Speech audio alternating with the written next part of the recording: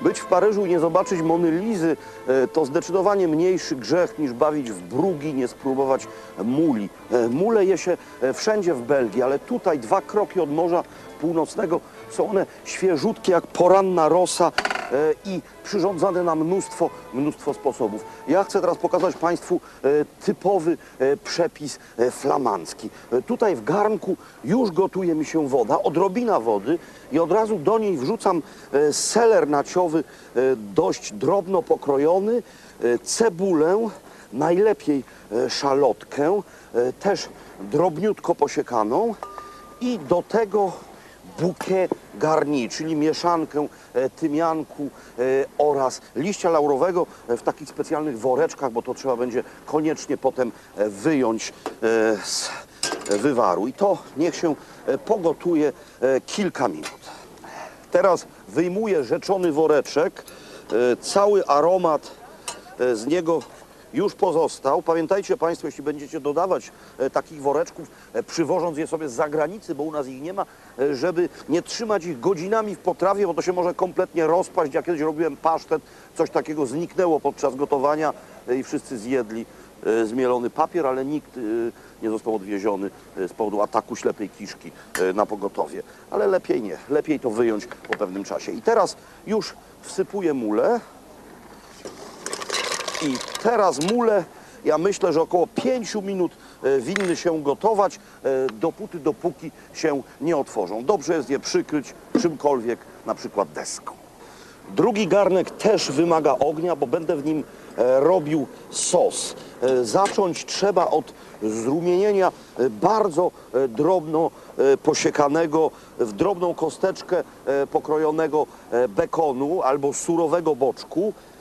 Powinien mieć nieco tłuszczu, e, bo to w ogóle bez tłuszczu e, tutaj e, powinno się zrumienić. Dobrze, niech się zrumieni, a ja muszę przygotować coś, e, co sos nam zagęści. To stara sztuczka kucharska, mianowicie rozciera się masło razem z mąką w takich samych proporcjach. Jeśli jest pół łyżki masła, to pół łyżki mąki. Tylko masło musi być miękkie.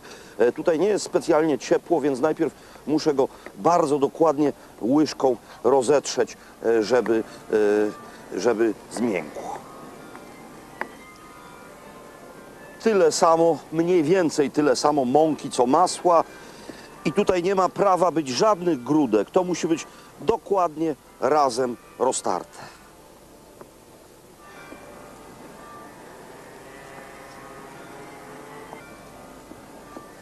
Roztarte idealnie. Zajrzyjmy teraz do bekonu.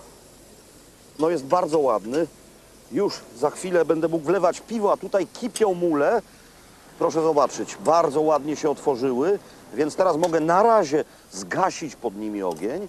E, przykrywam je, żeby były cały czas gorące, a do e, zrumienionego bekonu e, dolewam piwo. Piwo oczywiście belgijskie, ale piwo jasne, typu pilzneńskiego, zwykłe, jasne piwo i pozwólmy temu gotować się razem. Około 5 minut trzeba to jeszcze nieco dosolić i dodać świeżo zmielonego czarnego pieprzu. Masło z mąką utarte w ten sposób y, sos zagęści i nie będzie w tym żadnych y, grudek, więc mogą Państwo y, ten sposób adoptowany w kuchni francuskiej wykorzystywać nie tylko do robienia muli. Każdy sos bez zasmażania można w taki właśnie sposób zagęścić. Niech to się tylko rozpuści, zagotuje i sos będzie gotowy. Sos zgęstniał jak mgły nad Londynem. Teraz muszę go wlać tutaj na mulę, wysypując, wysypując cały bekon. To odstawiam. Pod tym trzeba zgasić ogień, natomiast zaświecić pod garnkiem z mulami i jeszcze to przygrzać. Dosłownie 2-3 minuty dobrze jest rozmieścić równo, sprawiedliwie te kawałeczki bekonu. Jeszcze tylko sól i pieprz. Świeżo zmielony oczywiście. I ten wspaniały garnek muli e, z brugi jest gotów. E, Będę wykładał e, na miskę jak Państwo zamawiają mule w restauracji i jedzą je w domu, potrzebne są dwie miski. Jedna na mule, a druga na e, skorupy. Zresztą tutaj w Belgii bardzo często mule podaje się w takich e, specjalnych garnkach, w których indywidualne porcje dla każdego klienta się gotuje. Tak to właśnie wygląda. Wygląda bardzo przyjemnie. Trzeba sięgnąć do dna, bo tam na dnie e, są jarzyny. Jeszcze raz e, przypominam, pamiętajcie Państwo, żeby tej wody na początku było jak najmniej, żeby ten sos najmniej możliwie rozwodniony był.